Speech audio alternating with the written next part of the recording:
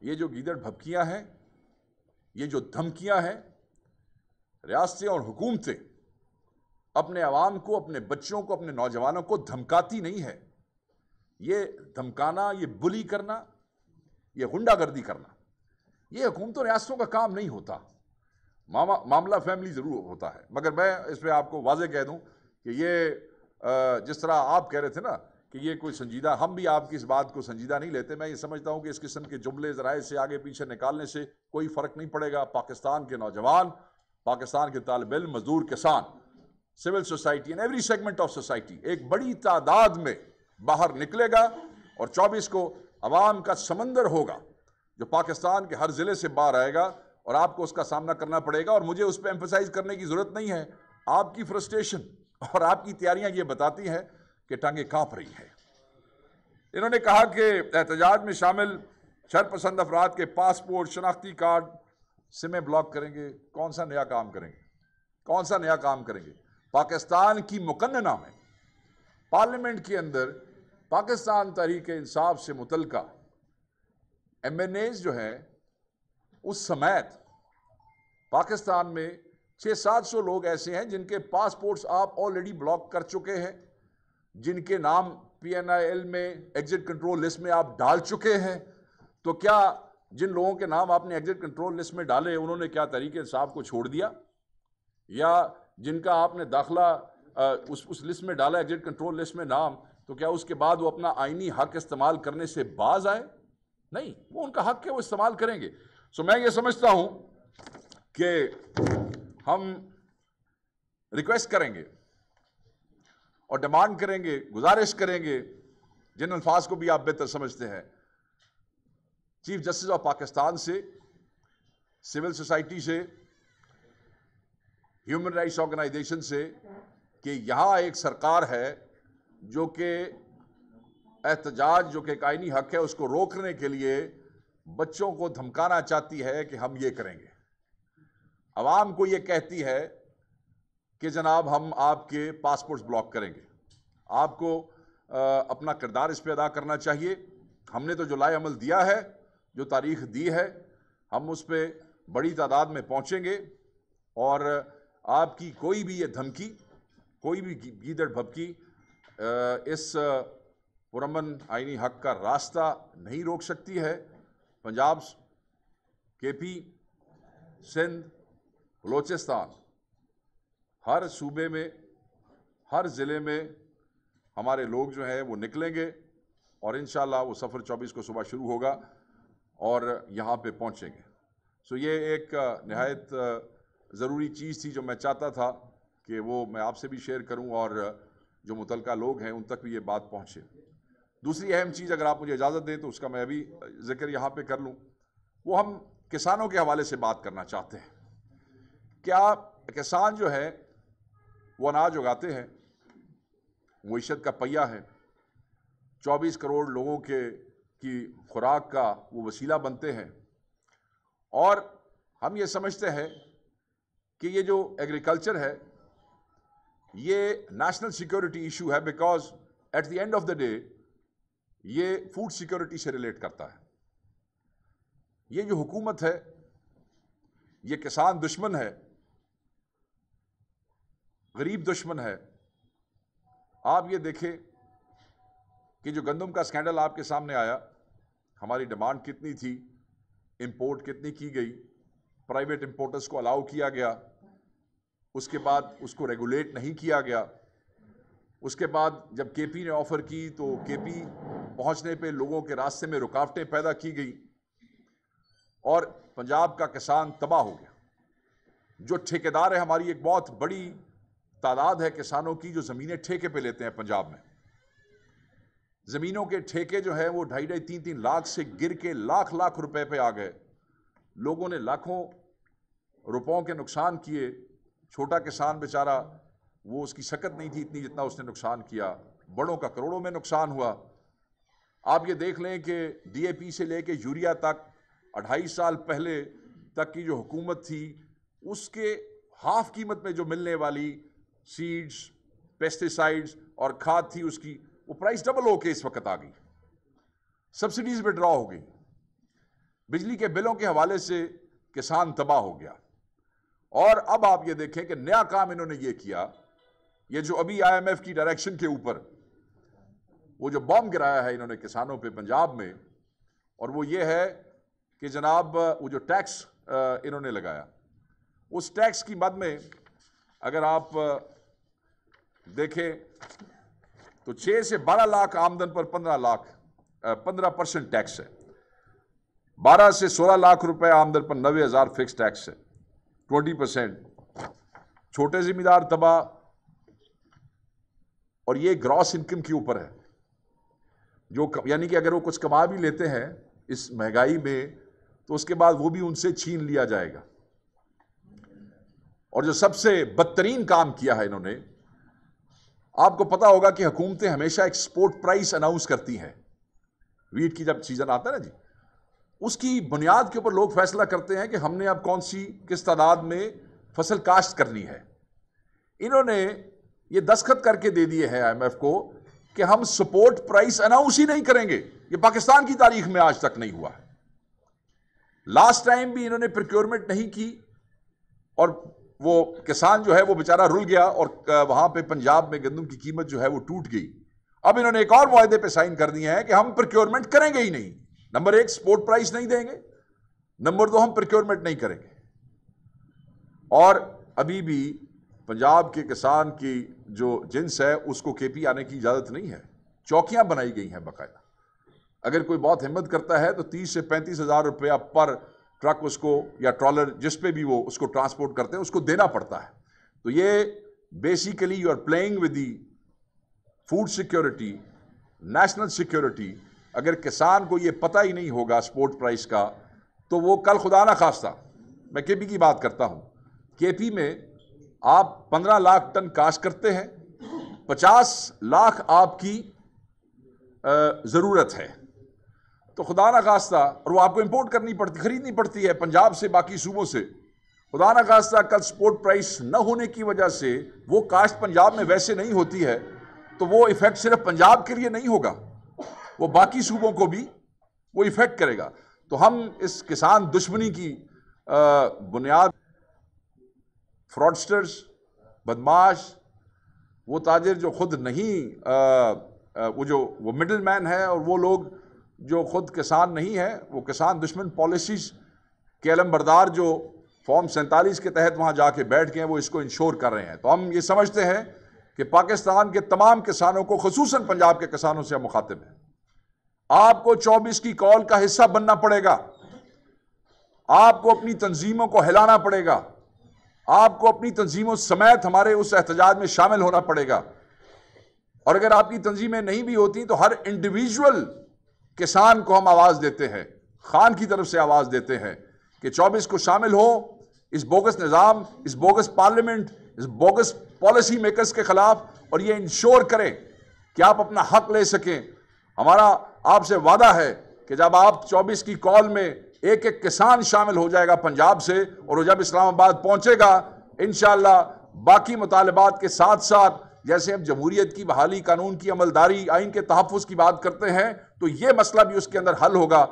اس کے لیے آپ تحریک انصاف کا ساتھ دیں اور ساتھ آئیں چلے ہم سب آپ کے حق کے لیے کھڑے ہوں۔ گے تھینک یو ویری مچ یہ دو ایشوز تھے جس میں بات کرنا چاہتا تھا۔ House open I knew you would ask this question جی۔ جی جی جی۔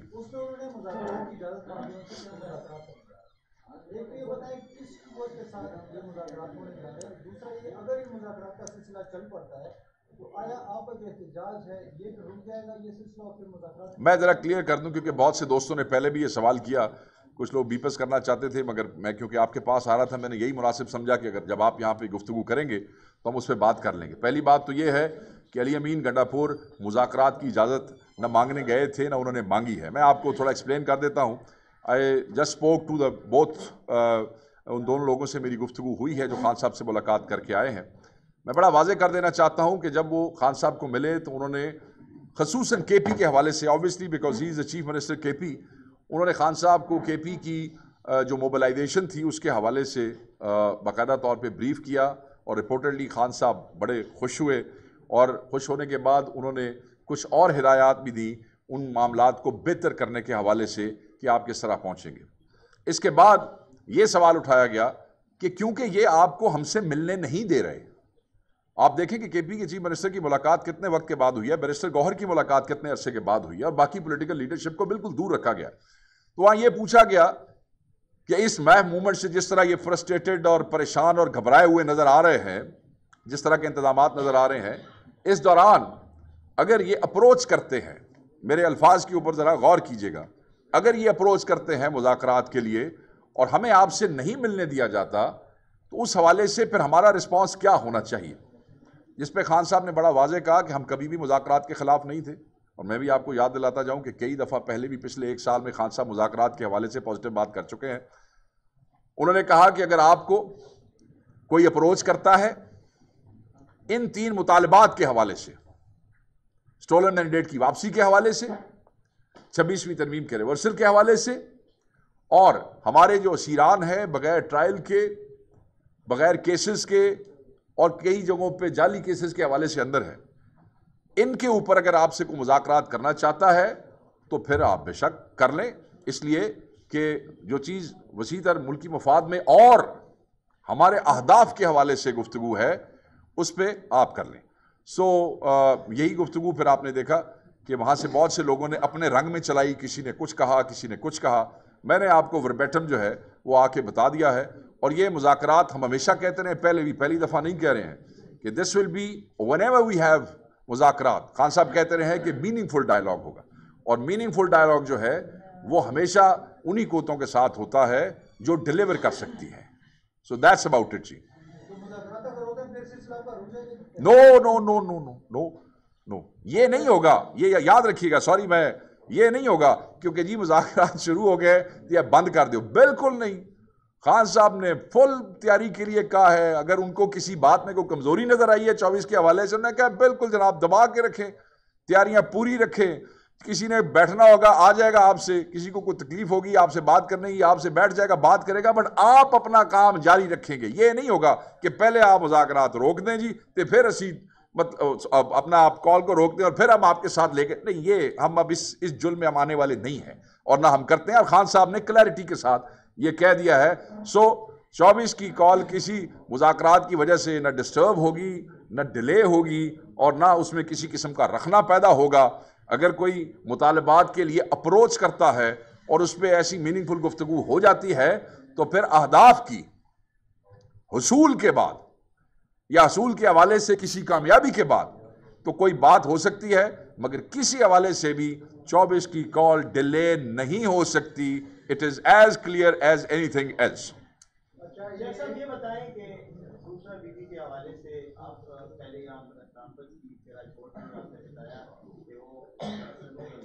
بالکل ایسے ہی ہے۔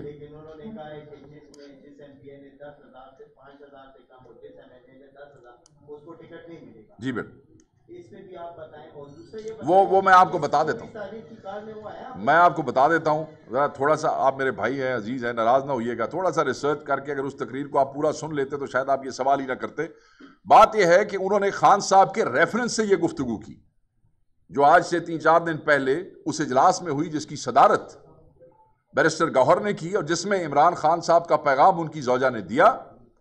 اس تقریر کے اندر انہیں دو چیزیں جو میڈیا نے آئی ڈونٹ نو آپ لوگ میرے بھائی ہیں کیوں اگنور کی؟ انہوں نے پندرہ منٹ اس بات پہ لگائے کہ نہ مجھے قیادت سے، نہ مجھے سیاست سے کوئی انٹرسٹ ہے، نہ تعلق ہے، نہ شوق ہے اور نہ میرا کوئی دونوں چیزوں سے لینا دینا ہے۔ میں اپنے میاں کا ایک پیغام اس پہ پندرہ منٹ انہوں نے اپنی تقریر میں کہا تاکہ کلیرٹی ہو جائے۔ مگر سم آؤ، لوگوں کو اگلے چنک زیادہ پسند تھے، انہوں نے اگلے چنک اٹھائے اور پچھلا نہیں۔ یہ بھی پیغام خان صاحب کا تھا، پانچ ہزار اور دس ہزار کے حوالے سے۔ اور آج بھی میں آپ کو بتاؤں، جو ہمارے دوست وہاں پہ میڈیا والے گفتگو خان صاحب سے کر رہے تھے۔ خان صاحب نے پھر کلیرٹی سے کہہ دیا ہے۔ جو جو ان کی زوجہ نے پیغام دیا، خان صاحب نے آج پھر کلیرٹی سے کہہ دیا ہے کہ جو اس احتجاج میں ان انسٹرکشنز کے مطابق شامل نہیں ہوگا جو خان صاحب نے دی ہیں تھرو بشا بی بی تو وہ پھر اپنا مستقبل جو ہے وہ پھر اپنا، اس کا سوچ لے، اس کے بارے میں اس نے کیا کرنا ہے۔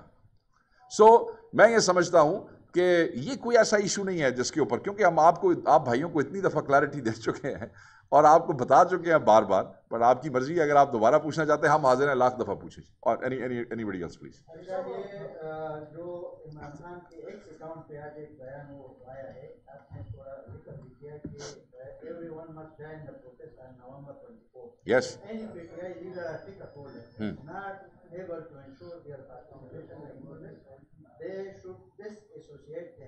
تو بس نہ میں نے کہا نا۔ تو اس حوالے سے میرا سوال یہ ہے کہ اس پہ کسی کو کسی پارٹی کے اندر جو وہ ہے گروپنگ ہے کسی پہ شک کوئی کوئی کسی پہ شک نہیں ہے۔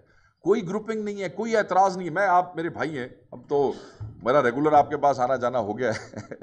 بات یہ ہے میرے عزیز کہ میں صرف ذرائع سے سن رہا ہوں۔ وہ جی ذرائع ہیں وہ بندے کچھ کہہ رہے ہیں۔ وہ کون سی خاتون خانہ ہے جو باہر نہیں آ رہی؟ اور باہر آ کے بات نہیں کرتی۔ اس لیے کہ یہ سیاست ہے، یہ پارٹی ہے۔ People speak their heart out لوگوں کو اگر اختلاف ہوتا ہے تو لوگ پارٹی میں کھل کے گفتگو کرتے ہیں۔ تو وہ کون سی ایسی خواتین ہے اس پارٹی میں یا کوئی ایسے مرد ہیں جو پردے میں ہے جو گفتگو کرنے کو تیار نہیں ہے اور وہ ذرائع سے چلواتے ہیں، ادھر سے ادھر، ساڈا نہ نہ لینا۔ او بھائی، کیوں نہ نہ لینا؟ اگر یہ آپ کی رائے ہے تو آپ کریں۔ ہمارے سامنے اس قسم کی کوئی رائے کسی کی طرف سے نہیں پہنچی۔ پانچ پانچ سو بندوں کی میٹنگز ہوئی ہے آپ کے سامنے ہوئی ہیں، آپ کے شہر میں ہوئی ہے اگر کسی نے وہاں کھڑے ہو کے کوئی ایسی بات کی ہے یا بعد میں بھی، اس کے بعد سائڈ میٹنگز بھی ہوئی ہیں ریجنس کی۔ میرے علم میں تو نہیں، میں ہر میٹنگ میں شامل تھا۔ سو یہ ایک منظم طریقے سے ایک چیز چلائی جا رہی ہے اور جس کو ہم کنڈیم دیکھیں میری بات سنیں۔ میں اب ایک برادرانہ آپ سے بات کر رہا ہوں۔ کچھ لوگ ہیں، پچیس سال سے خان صاحب سے ان کا وابستگی ہے۔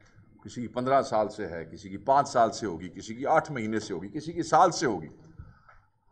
آپ مجھے یہ بتائیں کہ جب خان یہ کہہ دیتا ہے کہ یہ میری فائنل کال ہے، میں اس کال کو جوائن نہیں کرتا، میری کیا وابستگی ہے؟ میں کس لیے ہوں اس پارٹی کے اندر؟ میرا کیا مقصد تھا اس پارٹی کو جوائن کرنے کا؟ آج خان نے کہا، واضح کہا کہ یہ پارٹی ایک نظریاتی اور انقلابی پارٹی ہے۔ انہوں نے ان پانچ اسیران کا ذکر کیا، یاسمین راشد کا ذکر کیا اعجاز چودھری کا، محمود الرشید کا، سرفراز چیمہ کا، اور انہوں نے کہا کہ آپ وہ لوگ بھی تو پریس کانفرنس کر سکتے تھے، وہ لوگ بھی تو نظریات سے ہٹ سکتے تھے، مگر بزرگ خاتون، ایک کینسر پیشنٹ ایٹی پلس خاتون، اس نے نظریات کو اور اس پارٹی کو مقدم جانا، اور وہ ڈیڑھ سال سے جیل میں موجود ہیں، کس لیے؟ وفا کر رہے ہیں پارٹی سے، پارٹی کے ایجنڈے سے۔ تو یہ ہم کون لوگ ہیں جو ہم خان کے ساتھ اپنی ایسوسیشن بھی رکھنا چاہتے ہیں، مگر خان کی فائنل کال میں آنا بھی نہیں چاہتے؟ سو میں یہ سمجھتا ہوں اس قسم کا کوئی آدمی ہے ہی نہیں پی ٹی آئی میں۔ یہ اہم کہانیاں بنائی گئی ہیں۔ جو خان سے محبت کرتا ہے، لفظ پہ غور کریں۔ فائنل کال ہے۔ حتمی مرحلہ ہے۔ تو حتمی مرحلے سے کیسے آپ دور رہ سکتے ہیں؟ اگر آپ رہ سکتے ہیں تو پھر آپ خان سے محبت تو نہ کرتے ہوئے۔ اور خان تو کہتا ہے، ان تین آداف میں ان کی ذات کا تو ہدف ہی نہیں ہے۔ انہوں نے تو کہا، یہ قوم کی بات ہے؟ یہ آئین کی بات ہے۔ اس حوالے سے بات ہوئی۔ تھینک یو جی۔ اینی اینی اینی جی پلیز نہیں میرے بھائی، بالکل کوئی صداقت نہیں۔ میں آپ کو بالکل، دیکھیں، دو بھائی بھی کہیں بیٹھے ہوں تو کسی بات پہ کوئی ایسی گفتگو ہو جائے۔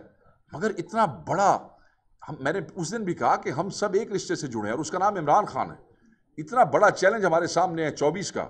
اس کے بعد بھی کوئی یہ جسارت رکھتا ہے کہ وہ کہے کہ ہمیں اختلاف، کس بات پہ اختلاف ہے؟ خان کی بات پہ اختلاف ہے؟ خان کی ذات پہ اختلاف ہے؟ کیا خان کے ایجنڈے پہ اختلاف ہے؟ کیا خان نے وہ جو تین باتیں کی ہیں اس پہ اختلاف؟ وہ کسی چیز پہ اختلاف نہیں۔ کسی کو کوئی اختلاف نہیں۔ ہاں کسی کو اگر میری میری کمیز کا رنگ اچھا نہ لگے، میں کیا کہہ سکتا ہوں؟ وہ خان سے اختلاف تو نہیں ہے نا۔ وہ چوبیس ہے تو اختلاف نہیں ہے۔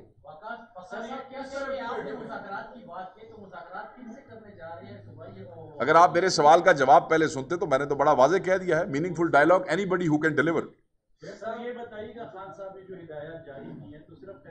کرنے نہیں جا رہے یہ میں آپ ایک اور واضح سوری میں آپ کی کرنے نہیں جا رہے اگر وہ اپروچ کرتے ہیں تو سوری سر یہ میں پوچھتا ہوں کہ خان صاحب نے جو ہدایات جاری کی ہیں وہ صرف خیبر پختونخوا کی حد تک ہے کیونکہ پنجاب میں تو کوئی سیاسی سرگرمیاں نظر نہیں نہیں نہیں، بالکل۔ پنجاب میں تو جس وقت ابھی آپ کے سوال کا جواب بڑا مزیدار ہے۔ اگر آپ تھوڑی سی ریسرچ کرتے تو شاید ہم یہ سوال کا جواب ہی نہ دے رہے ہوتے۔ پنجاب میں تو میرے بھائی، آٹھ فروری سے پہلے بھی ایک مہینہ کوئی سیاسی ایکٹیویٹی نظر نہیں آ رہی تھی۔ میں آپ کو بتا دیتا ہوں، میرے حلقے میں میں نے پونے دو لاکھ ووٹ لیے ہیں۔ روپوشی میں میں ایم این اے بنا ہوں۔ میرے پورے حلقے کے اندر میرا بینر ہی نہیں تھا، میرا پوسٹر ہی نہیں تھا، میری تصویر ہی نہیں تھی۔ بٹ پنجابیوں نے مجھے ایم این اے بنا دیا خان کے نام پہ۔ سو آپ don't underestimate Punjabis on that account جو آپ کو سرپرائز دیا تھا اور یہ صرف میں نہیں تھا. یاد رکھیے گا. وہاں سے ہمارے پچپن ساٹھ ایم این اے آئے ہیں. ایک سو اسی سیٹوں کے اندر میجورٹی پنجاب میں سے آپ جیتے ہیں. اور وہاں پہ کوئی نام و نشان نہیں تھا سیاسی ایکٹیویٹی کا مگر لاکھوں نہیں کروڑوں ووٹ آپ کو پڑ گئے پنجاب سے.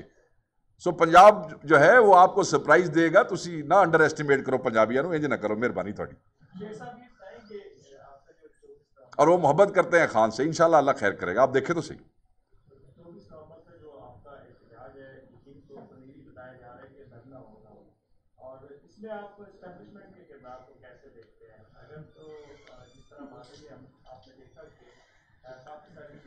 ہمیں دیکھیں میرے بھائی، ہمیں کوئی کردار دیکھنے کی ضرورت نہیں ہے۔ ہم اس وقت صرف اپنے اپنے دوستوں کے کردار کو دیکھ رہے ہیں کہ ہم نے پہنچنا کیسے ہے وہاں پہ بس یہ سنگل ایسے ایسے، سیدھا پہنچنا ہے۔ پہنچنا ہے اور بیٹھنا ہے۔ جب تک مطالبات پورے نہیں ہوتے.